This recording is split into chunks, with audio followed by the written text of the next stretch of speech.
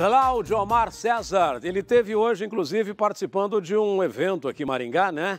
Aliás, um evento muito importante aqui para a nossa cidade, né, Cláudio Omar? É verdade, Beija. A gente esteve acompanhando aqui no Colégio Estadual, no, no, Conjunto Itaipu, aqui no Parque Residencial Itaipu, aqui em Maringá. É o Maio Laranja, Beija, que é o maio, é um mês dedicado à conscientização, ao alerta e à prevenção também dos crimes eh, sexuais contra crianças e adolescentes.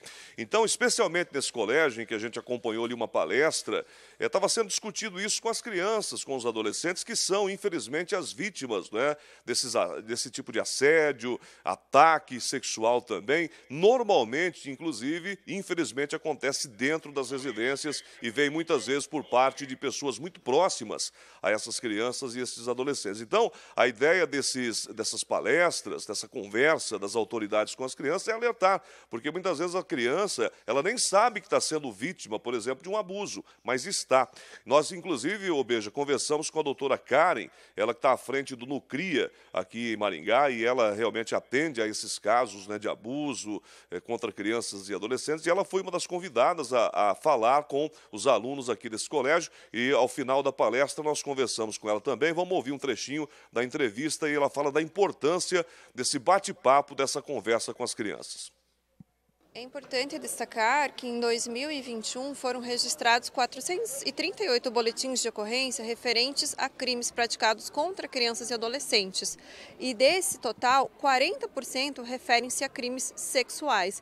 Então, muito importante abordar o tema para que a criança ou adolescente identifique quando está sendo vítima de um abuso né, para que ele possa noticiar as autoridades e também identificando esse, é, que ele está sendo vítima de um crime, evitar que esse crime ocorra. E nessas palestras está sendo feita toda essa orientação, né?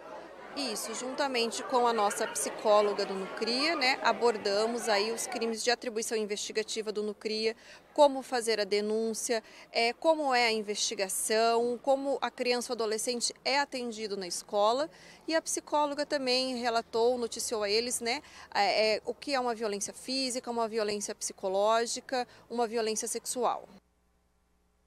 Muito bem, tá aí, Beijo. Então é importante nessa conversa, esse diálogo, como eu disse, essas são as principais vítimas dos abusadores, crianças, adolescentes, então é um bate-papo interessante até para alertar né, que a qualquer sinal né, de violência, de agressão, a criança deve denunciar, e aliás, denunciar muitas vezes na própria escola, né? muitas vezes a direção da escola, os professores percebem é uma mudança de comportamento dessas crianças e acabam levando a informação para as autoridades.